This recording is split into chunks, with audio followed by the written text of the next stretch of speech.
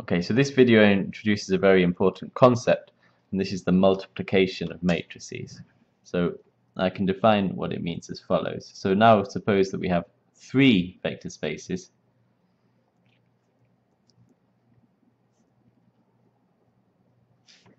Let's say U and V and W, and let's suppose, to be certain, let's set their dimensions are equal to K and L and M. So this is a k dimensional vector space, this is L dimensional vector space, this is M dimensional vector space. Okay, and let's suppose that we have linear maps, linear transformations. Sorry. Map is another word for a transformation. So I'm going to take the first transformation going from U to V, and the second transformation is going from V into W. Then you can obviously combine these two together. So then we can define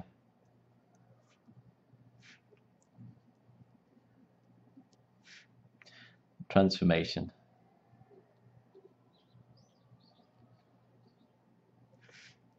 BA, which will go from U into W. So you have to be a little bit careful here. The transformation BA means you do A first and then B. In other words, you read this way. Right? You do A first and then B, you write it this way. So you'll see the reason for writing it kind of backwards in a minute. So we can define a transformation like this. So A takes you into V, and then B takes you into W. So first question to answer, is this new transformation still linear? Okay. So we have to check the two axioms of a linear transformation. In other words, if I have the transformation BA and I apply it to two vectors u1 plus u2, where these are vectors in u, then what's this? So this is B of A of u plus u1 plus u2. But A is a linear transformation, so this is B of A of u1 plus A of u2 so here these two things are now vectors in V. But B is a linear transformation, so this is equal to B of A of U1 plus B of A of U2. But this is equal to the combined transformation BA of U1 plus BA of U2. Okay, so that checks out. Satisfies the definition of linear and you can show that the second one is also works. It's, it's pretty simple right? So the second one is that BA applied to some number times the vector u. So first of all A is linear so you can write this as B applied to lambda A of u. And again A of u is some vector in V but then B is linear so this is lambda times B of A of u but this is lambda times the combined transformation BA of u. So that one also checks out. So the answer to my question is yes. So we can combine two linear transformations and the thing we get is another linear transformation. That's quite simple, but what I want to work out is how do the matrices for these transformations relate to each other? In terms of matrices, and this is where it gets kind of interesting. So we know that these linear transformations can all be given matrices. So the first one will be A1, 1, and here it goes up to A1K, and here it goes down to AL1, and here it goes to ALK, and B can be written as the matrix a what sorry B B11 up to B1L and here it goes down to BM1 here it goes, goes to BML and BA the combined transformation is some other numbers which I'll call BA11 up to BA1K down to BA M1 and across to BA MK. Okay, so we can give them all matrices like this and what I want to know is how do the numbers in this matrix, the combined matrix, relate to the numbers in these two matrices. Now, just to know, how did I know that this one goes up to k and this one goes up to l, and this one goes up to l and this one goes up to n, and so on? In general, you can see it from the previous video if you want it in detail. The number of columns of the matrix A, so that means 1, 2, 3, 4 up to k, that tells you the dimension of the original space. So A is going from U, and U is k dimensional, so that means A should have k columns like this. So let write this as a note. Okay. So the number of columns equals dimension of the starting space.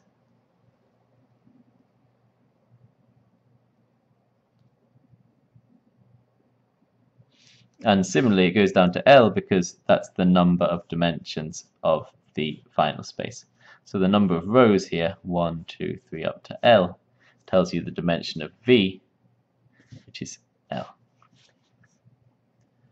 The number of rows is equal to the dimension of the final space. Okay, so in order for the transformation to make sense, we need that B must start in the same space that A finishes, right? So if A goes from U into V, then B must start in V. So that means that the dimension here and the dimension there should be the same. So that means that the number of rows of A, because that's the dimension of the final space, should be equal to the number of columns of B, because that's the dimension of the starting space here. So therefore we need that the number of rows of A should be equal to the number of columns of B okay in order to define multiplication to, to be able to define BA Okay, so this is quite an important thing to check, so you can quite easily check whether it's possible to multiply two matrices together or not. You need that, if you're multiplying BA like this, you need that the number of rows here should be equal to the number of columns here, then you can multiply. Okay, so let's answer the main question now. What is BA11 in terms of A1, 1 and B11 and so on?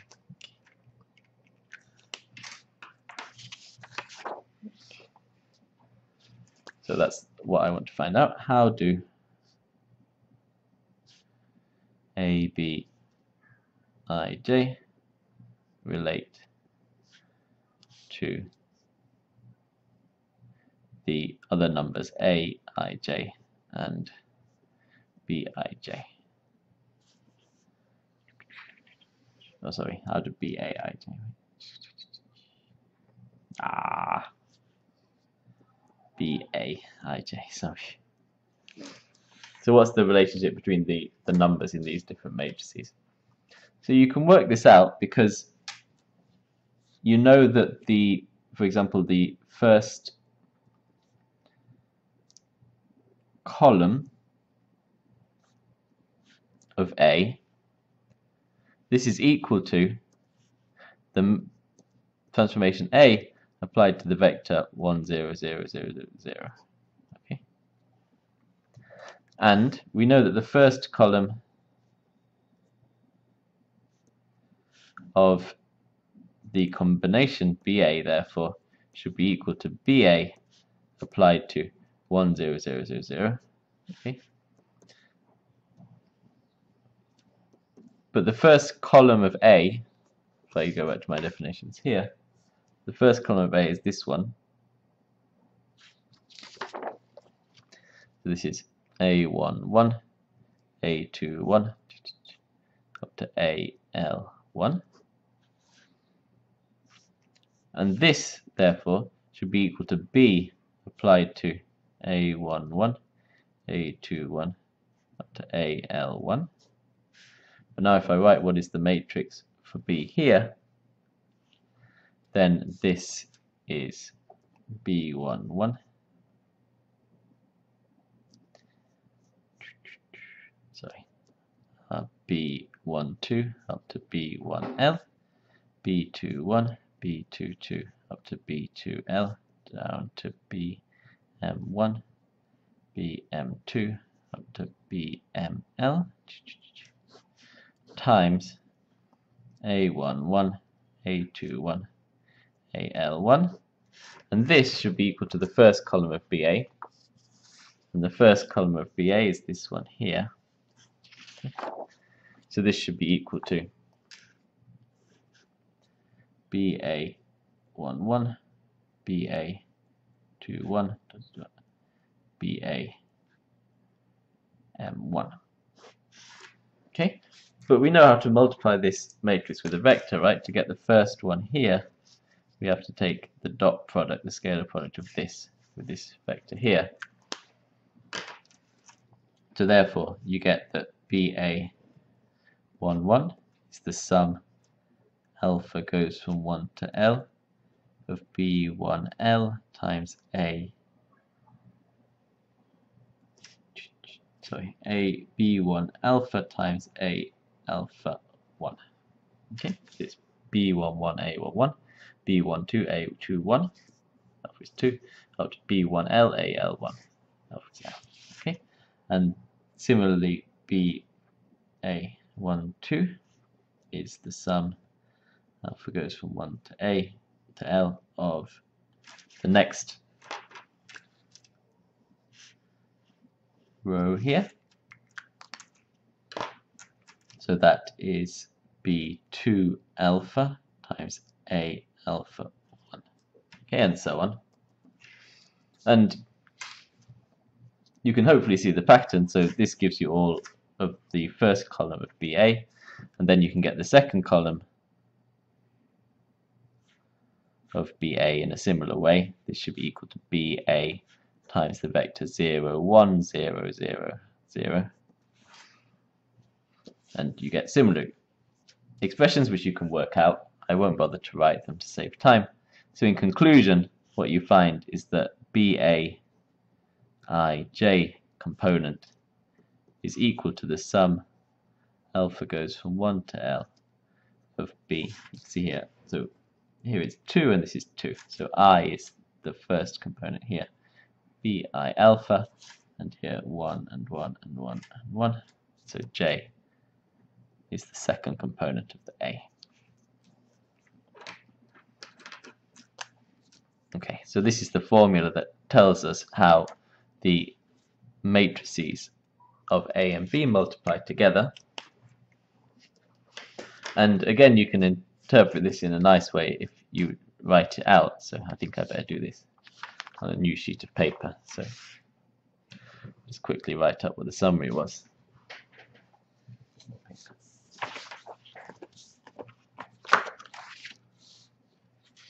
So the summary was that BAIJ is sum alpha goes from 1 to L. B, I alpha, A alpha, J. Okay, so if I write out what this matrix is then, so here is the matrix B, that's B11, B12 up to B1L, B21, B22 up to B2L, down to BM1, BM2 up to BML. So this is the matrix B. And then we've got the matrix of A, which was A11, A12 up to A1K, A21, A22 up to A2K, down to A L1, AL2, was to ALK. That's A, and this should be equal to the matrix BA, okay, which is BA11, BA12, sorry, BA12, up to BA1K and BA21.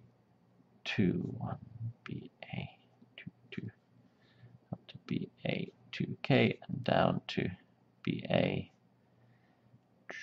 M1, BA M2, and up to BA MK. Okay, so what does this formula mean here then? If we just take the first example, so if i and j are 1, so here we have b1 alpha. So b1 alpha is the first row of b here.